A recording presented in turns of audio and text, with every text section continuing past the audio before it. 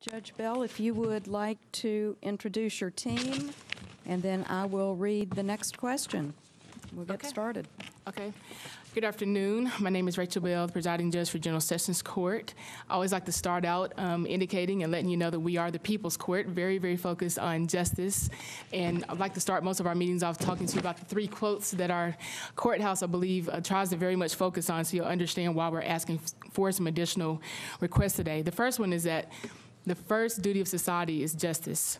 Justice is what love looks like in public, and justice does not stop at the courthouse steps. Today, we have with me our court administrator, Warner Hassel, to my right, and in the audience, we have Judge Linda Jones, Judge Allegra Walker, and Judge Casey Moreland, and Judge Michael Mondelli.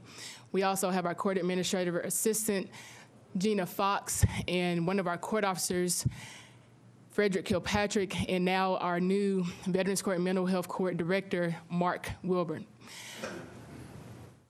Winslow. Okay. Thank you so much. So the questions that we're asking all of our departments, as stewards of taxpayer dollars, Metro Council has been charged with ensuring that the public funds are used in an effective, efficient manner, delivering maximum service to the citizens of Nashville. If your budget, and it does include an increase, if you could please present to the council how your additional funds will improve these services. Okay, and I would like to now defer this to our court administrator, Mr. Hassel. Yes, the um, mayor's recommended budget uh, includes uh, several items, one of which includes uh, an improvement uh, for our night court system. Uh, The way that, that benef- uh, that dollar amount is $219,600. Uh, The way the citizens of the community can benefit from that particular improvement is it includes two part-time commissioners that would be, be working during peak periods of when their arrest periods are greatest during the course of a week or during a particular time of the day uh, during certain days of the week. Uh, and we would schedule those accordingly. Also, the commissioners do not have any full-time uh, or part-time staff support. Uh, The mayor's recommended budget includes two full-time staff that would uh, work uh, rotating shifts over a course of a week. Uh, tho- That recommendation came as a result of a a study, the first study of its type in over 30 years of our night court system. So we, we've been operating with the same staffing level in night court uh, since the early 80s. Uh, Another recommendation of the mayor's budget is two probation officer uh, positions that would specialize in supervising Hispanic offenders, including helping to uh, support the new human trafficking uh, court or the Cherished Hearts docket uh, that, that was recently started at the General Sessions Court and, and administered by, by Judge Casey Moreland. Uh, we have a, a significant number of uh, offenders in our probation uh, department that are supervised uh, that, that are of Hispanic descent, and it would be very beneficial for us to have someone that was uh, fluent uh, in, in the his, uh, Spanish language to, to communicate properly with the offenders coming into probation. Also, we have two, the mayor's recommended budget also includes two administrative uh, services officer positions that would improve the case management component uh, for the mental health court caseload. Uh, They, they have a uh, significant caseload, and, and two, two positions would, would help them immensely to properly manage their, their docket.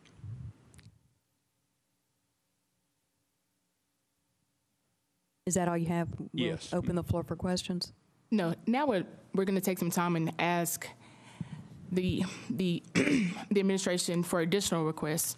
We're focusing those on three additional areas. We do want to thank the mayor for her recommendations um, that Warner Hassel has gone over, but there are a few more that we'd like for the council to consider.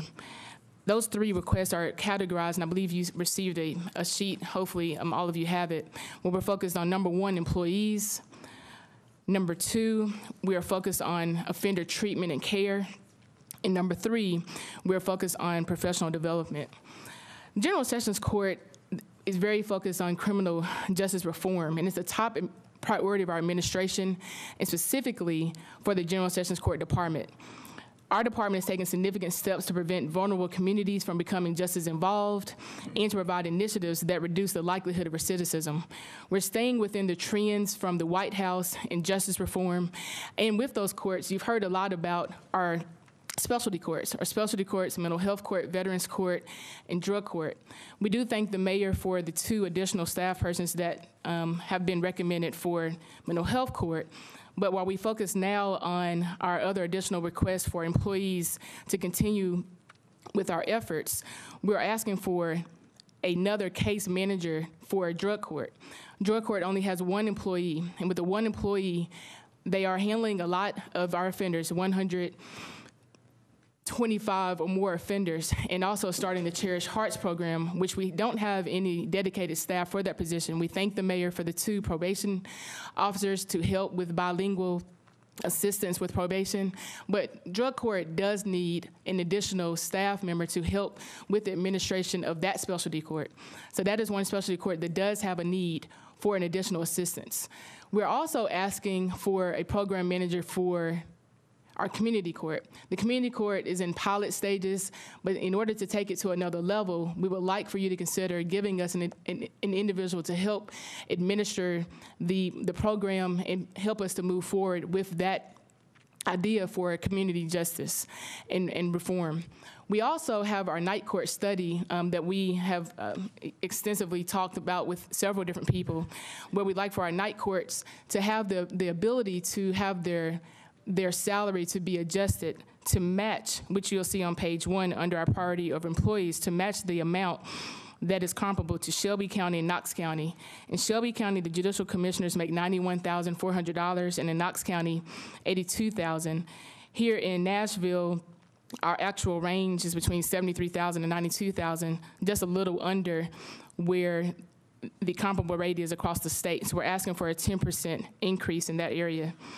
When you look at also going to priority number two, priority number two is the offender treatment and care.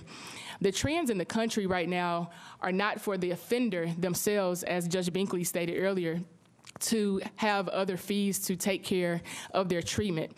It is um, the trend now that the general operating fund of the state or the local government to ensure the judiciary can fulfill its obligation by upholding the Constitution, protecting the individual and the rights of the citizens, to actually be funded by the general operation of the city.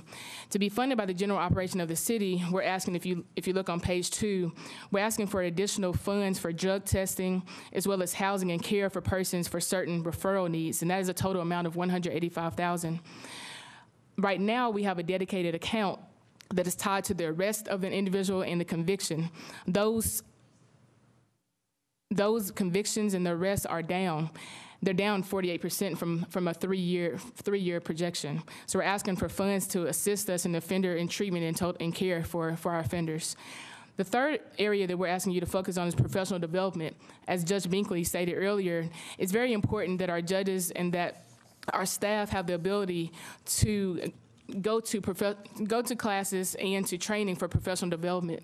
There is no other job more important than education, and it is the foundation of our democracy. And by seizing on what's working and create recreating those successes from one city, one community, one courtroom to the next, we can make it better for everyone here in the city of Nashville. Our judges and our staff need the ability to look for courses and educational opportunities to stay on course and the cutting edge across the, the country. So we're asking for an amount of 67,000 to assist us in that effort as well.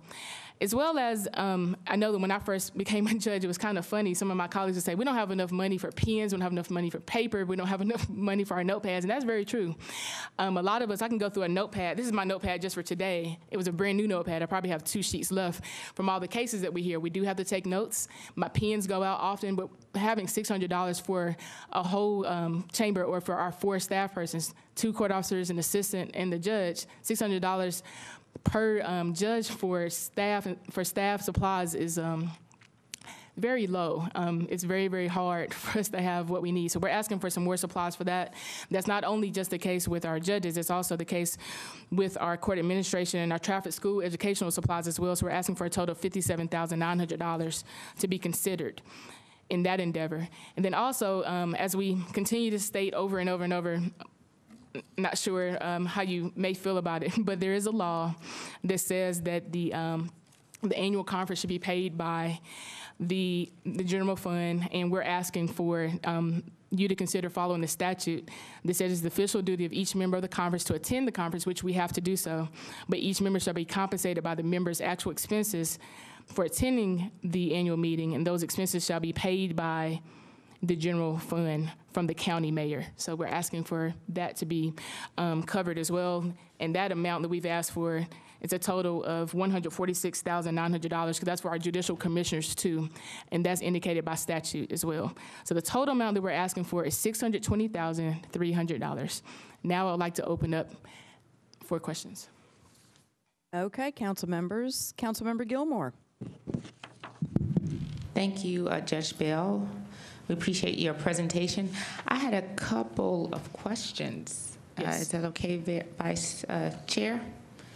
Is it okay for me to ask a couple questions? Okay, so the, the first question um, I had started with was the one about, I wanted you just, just to kind of speak a little bit more about what the courts would be doing as it relates to the uh, trafficking. I wanted to hear more about how that person, in what capacity, is it the normal court that we, s- we we see, you just come in, you handle the cases, or is it a little bit more comprehensive than that? If you could speak to Okay. that, and then I have And another is this with the question. mayor's recommendation for the two probation officers, or you are talking about the case manager that we're asking for for drug court No, to no, no, assist? I see, I was gonna ask about Judge, Cour- Ju- um, drug court. No, this is actually for, it says, um, including human trafficking court. Okay, so that's Two- the mayor's recommendations? Uh-huh, yeah, if you could just speak to that, though, how that looks. Okay, okay. Okay. I would like to have Judge Moreland come to the podium um, to explain more about the human trafficking court, Cherish Hearts, but I can answer a little bit. The two probation officers that the um, mayor has recommended, says two probation officer, one positions to specialize in supervising Hispanic offenders, including the human trafficking court, which is Cherish Hearts. Right now, in our probation department, we have uh, maybe one or two individuals that can speak Spanish but aren't bilingual, but we're starting to have an influx of a number of individuals that are coming, offenders that are coming through our general sessions court that speak Spanish, and we need to have a probation officer that can that can interpret and talk to them about their conditions and their the order that they are signing for probation. But as far as cherished hearts and the human trafficking court, I would like for uh, Judge Moreland to come to the podium and express his concerns and let you know more about cherished hearts. Judge Moreland, thank you. Council lady, are you wanting to know what the program is? Is that what? Yes. Okay. Just because it, yeah, if you could just speak to Most that. all the laws that we have uh, all deal with the perpetrator. And we have nothing, or have had nothing, that uh, has dealt with the victim of human trafficking. And we use, uh, our Cherished Hearts program treats the victims of trafficking. We don't, we have nothing to do with the perpetrators. That's, the DA's office will take care of that. But the DA's office, Public Defender's office, and, and, and our court was established uh, to help these, these victims. And what we do is we try to take every excuse away that they have to, uh, to go back out on the streets, to be trapped, continue to be trafficked, such as, I don't have, uh, I don't have a job. We help them get a job. I have a, uh, I have a drug problem. We have intensive uh, drug treatment that we can provide them. Um, you know, I, I don't have a car, I don't have a license. We give them bus passes, we help them get their license, things like that. We just try to take away every excuse they have, uh, including their, their addiction. A lot of them have tr- bad, bad trauma problems. We have uh, uh, psychologists that are specialized in trauma that treat them. All of this at no cost to the, to the victims. Okay, good. And so is the, a part of the request in here for, to cover cherished Hearts, or no? Well, the mayor, in the mayor's budget, I think we have part of a probation officer to help a little bit, but our program, you know, every bit's appreciated. We probably need a, a full-time position, uh, to be honest with you. So at this point, you have one to cover part-time? Well, in the mayor's budget, we do. I'm with you. We- I'm just We trying have follow. nothing right now. Everybody that's doing, uh, that's operating in this program now is doing it over and above their regular jobs. Got it. And s- Volunteers. And so how much would it be for the, a full-time? I don't know that that's in the budget request. Right. um, Yeah, but- we, we just, we just But the one for the sometimes. treatment court which would also be helping with Cherished Hearts, is the 60-something thousand, $65,000 figure. Okay, all right then, thank you, Judge Moreland. Okay, and then the second piece I was trying to follow with is, um, you were saying something about for, I don't know if it was with the drug court, but you were saying arrests were down forty-eight percent, and I was trying to see, are these tied to the fees that you would normally receive to carry out certain duties? Is, Right. uh, Are those two tied together? If you could just speak to that, and then I'll continue. Somewhat. They, Okay. there was a dedicated account that was um, created several years ago for DUI arrests and DUI conviction. There's a certain amount of money that went into the DUI dedicated account. That money was to assist and help with drug treatment and care for our offenders. That money is d- directly tied to our drug court, mental health court, and veterans court. Those funds are down now because the DUI arrests and the DUI conviction rate is down. We have asked um, to, to add additional information to what Judge Moreland said. Having that additional staff person would help has nothing to do with the, the drug testing, but would help with cherished hearts as well, as he as he did state. And that amount, just to be clear, was forty nine thousand six hundred dollars that they're asking for an assistant to help with drug court that would also help with cherished hearts. But as far as um, the drug testing, the amount it is down forty eight percent, and so we're asking for a total amount of one hundred eighty five thousand dollars to be put from the general fund to assist in drug treatment court, mental health, drug testing, probation, drug screening, housing and care for persons for certain referrals, which is treatment court as well as mental health court. And if, um, I have gone to that court with Ju- uh, Judge Moreland, if he could speak to when these people, uh, I shouldn't say when these people, I don't mean it that way, but when the, the persons that attend, uh, drug court are rehabilitated, that it is how much, uh, of a savings, uh, Judge Moreland? I heard you cite the number one time. How much do we realize as a city? We have, uh, we, we have averaged 120 participants in drug court uh, over the last couple of years, and we're busting at the seams uh, as far as how many we can handle. Most all of our clients are special needs type individuals if they were in jail. All of our clients, if not for our program, would be in jail. 120, that's $5.2 million a year just in direct incarceration cost savings to the city. And our total budget for drug court is only $62,000. Okay, so uh, thank you so much for that, Judge Moreland. And I was able to attend that uh, that uh, ceremony, and it was a beautiful ceremony because the people did not look like the, the participants did not look like the same people that they did after they had gone through the court. And it was also Council Mem- uh, Member Johnson was there, and I think it was Council Member Pulley and some other people as well that were there. And it was very touching. And if we can say 5.2 million versus 185,000, I would request that this would be in the budget. I mean, I think it's, so Add I'll, to I'll your fill wish it on, list. on my Yeah, wish put it on your list. list. I will make that recommendation for you. And then I have a last question, and it's a legal question. So we're going to use our, our wonderful Esquire over there, Mr. um, Jameson.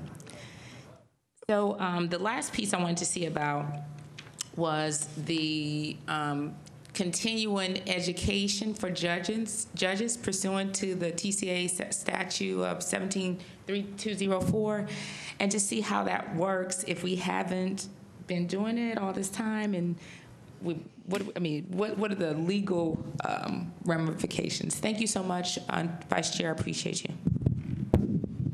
Uh, Thank you for giving me the opportunity to speak following uh, Judge Bell and uh, my good friend Warren Hassel. Um, By law, attorneys in Tennessee are required to have 18 hours of continuing legal education per year, um, three hours of ethics included. At many uh, branches of government where attorneys work, that's part of the benefits package. Um, And the council office pays my CLE requirements every year. So a, a similar requirement by the judges, not only being statutorily required, but a very typical professional benefit for judges within the public sector. Um, I can't recommend to you specific budgetary items, but this would be a typical provision within other municipalities. Okay, So my follow-up question, though, she, she was saying that it's, it's actually written into the law that we're supposed to pay for it. There is a Tennessee code that requires it to be paid by, now, we are a metropolitan government, so the reference to the county mayor's general fund is a slight difference, but I would submit that the. Because we're the saying consolidated statute- and we don't have to? Because we're consolidated, is that what we're? That is correct, but, I- but I think the intent of the statute is clear, that it should come from the general fund of the, of the county budget. Okay, and then um, I have one more question. So do we pay, do you know if we pay for the fees for our attorneys that we have that represent the city, our city attorneys? Do we? I, I would imagine that we do provide, I don't know this to be a fact, but I would assume that we do provide for the continuing legal education fees for the Metro legal attorneys, but I will verify that and get back to you. Okay, if you could verify uh, that for me. All right, then, thank you so much, uh, Judge Bell. I'm definitely advocating for um, the one, was it 185 for the drug court? Because I think it has a large return when we think about 5.2 million dollars that we are uh, saving. And then if we can get more information on whether we're paying for our other attorneys uh, for that continual legal education, I will request, depending on if we do it as a, for our uh, city lawyers. Could I um, just add a little bit, Councilmember Gilmore? Uh, Thank you for making the request for the 185,000. I just want to be clear, that money is for treatment for all of our offenders within drug court, mental health court, and veterans court. What is very important is that drug court does get an additional staff member to continue along those efforts to ensure that the $5.2 million are saved. And they're asking for an additional staff person, which is only a budgetary item of $49,600. If um, you would consider um, adding that to your one person handling 125 people and then adding an additional court with no staff is really uh, I will, I will make that request as well. Just know that a lot of other council members will have requests, and we're gonna have to work on them, so. But I will make that re- request as well, because I, I do think it's important uh, that we realize those savings as a city, and not only that, it transforms uh, people's lives. So I think it's very helpful. okay. Thank you. Thank you, Councilmember Gilmore. Councilmember Pulley. Thank you, Judge Bell, and, and thank you, Chairperson, Madam Chairperson. Uh, Not being the numbers person that my uh, esteemed colleague, Chairman Weiner is, let me, are these all, the $620,000, that's not all over and above what the mayor is uh, giving you, is it? Yes, it is. It is? Yes, Every is. bit of it is more than, so it's not, uh, okay, all right, that answers my question. Uh, And I also might note that it's really nice to see you and Mr. Jameson speaking from the same stage. Yes, we, we're really good friends, actually. I know you are, so that's great. Well, thank you very much, that answers my questions. Thank you. Councilmember Hurt. Thank you, Madam Chair. I, um, my question is regarding the mental health court. Um, we spoke earlier this week with uh, Metro General in regards to possibly having uh, mental health uh, ward that could uh, possibly drive revenue. And the $75,000 that you have here, I'm just wondering if it could be utilized to serve as a, a catalyst to, to get something started or some matching funds or do I need to add something to a wish list or can I, or what can I do to try to help move forward to, to making sure that we serve this population of people as well as, um, as well as assist Metro General in, in getting uh, revenue started. I, I know that a lot of uh, criminal activity uh, is, is mis, um, for mental health issues. I, I, I don't know if that's the right word, um, but but it, it's it's more diagnosis of mental health than not just criminal activity behavior.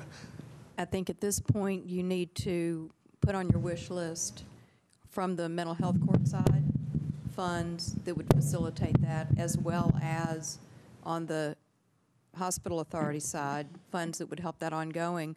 Realizing, though, that we have to add into the capital improvements budget, funds to build out that eighth floor at the hospital authority, I mean, at the hospital. Are there any others in the queue? No. Anybody else wish to be recognized? Okay, with that, we will conclude. Larry? All right. Councilmember Hagar. I'm sorry. I saw you waving your arms. Thank you. I thought I had it on. I apologize. No, you didn't. Thank you, Chair. Thank you, Judge Bell, for being here. Appreciate it. Uh, One question I had, and of course, I go to court a lot. I don't know how many probation officers each court has. Are designated for each court. So when we talk about mental health court, veterans court, drug court, is there a way that you can break down to me how many officers or probation officers we have per court? Is that possible to do that? Yes, it is. Okay. And if you can provide that to me, and the reason I'm asking that is because uh, my brother-in-law used to be Assistant Director of the Department of Corrections, and when we talk about the cost of incarceration, I remember when CCA tried to come in, and we're going to try to outbid the state on the cost of incarceration. And I have clients that go to the drug court, and then they go to the halfway houses, and it's probably one of the most successful programs there is because the cost of incarceration is enormous. And I want to make sure that um, there is, you know, a balance of all these different courts that we have as far as having enough staff to staff each one of them. And also having a older son that has special needs and intellectually disabled, I'm always concerned about the mental health court. And I want to make sure that it's fully, uh, fully staffed to take care of these people because most of them uh, do not have the ability to know what they've done to begin with, and uh, I want to make sure they're taken care of. Now, as to the night court commissioners, I understand that they're making less than Shelby County and Knox County. Is that correct? That's correct. And that's not in this proposed budget at this time, correct? It is. Not- Not in the mayor's recommended. Not in the ma- I'm sorry. Mayor's Okay. recommended. So we're proposing 10% for them, is that correct? yes, sir. All right. And that's based upon the night court study recommendations. Um, we had a, a study that was done, it took, how many years was it? How many years does it, say, about a year? Uh, yeah, yeah. Okay, so year study, we just received, and we're just Okay. asking you to comply with that. And, and I, I expressed sentiments with Councilwoman Gilmore about the drug court, and we'll try to get some funding for that. I want to go into the program coordinator for the community court. I know you've already done this once or twice. Is this somebody that's going to be a full-time position, is that correct? Yes, it is our hope. We're And still what- in pilot stage right now, but having Okay. a, a staff person would really help us take it.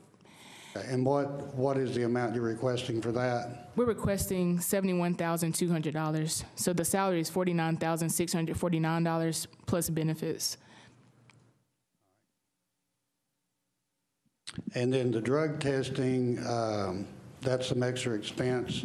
Is that something we hadn't been funding before, is that correct? Well, that is the one where there's a specialized dedicated account where an offender that has a DUI arrest or DUI conviction has an additional charge that's added to their court costs and fines, and a certain portion of that goes to the dedicated account. Because DUI convictions and arrests are, are reduced now, or are down, down 48% actually over the last three years, that money has, has dwindled down to a little bit. We, we barely have enough to do the drug testing for mental health court, veterans court, drug court, and the housing and care for the offenders as well. So that's the amount we were asking for, 185,000.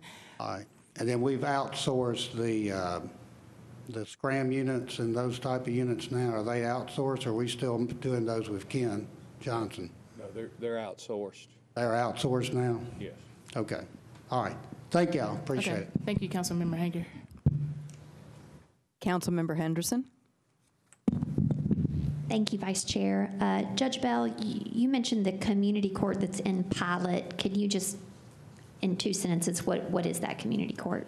Okay, the community court, it'll take me probably longer than two sentences, but it's been focused on helping all of the individuals that come before our courts so that they can re- hopefully reduce, um, we're trying to make sure that we reduce the recidivism rates and also assisting them in, in helping the community. For example, we, we've only had the docket on Saturdays. So if an individual comes to our citation 1A docket, we create a specialized ghost docket on Saturday where they arrive at a location at 8 o'clock. We'll do some community service work, whatever that is, paint retaining walls, get graffiti off of um, different um, bridges. We'll clean up, litter pickup. We um, now are working with a community garden and some other things that we're going to be doing to assist our, our, our to assist our city and the offenders. When they get done doing that work, they come back. I sign off on it. So at that time, they don't have to come back to court on Monday or Tuesday to show proof that they've com- completed their community service. The court case is dismissed because usually those are under advisement or agreed orders. So it's, it's reducing the um, the arrest rate. It's helping individuals re-enter back into the community, hopefully quicker and not having to come back to court, and also assisting the community, seeing that, you know, it's community, community focused. So then, are these parolees who've had kind of an additional minor offense, or? Right now, we've When you say recidivism, you mean there's a previous charge? In some instances, there are previous charges, and in some there aren't. So this is a, a preventive and diversionary focused court. Preventive diversionary, okay. Thank you. Okay.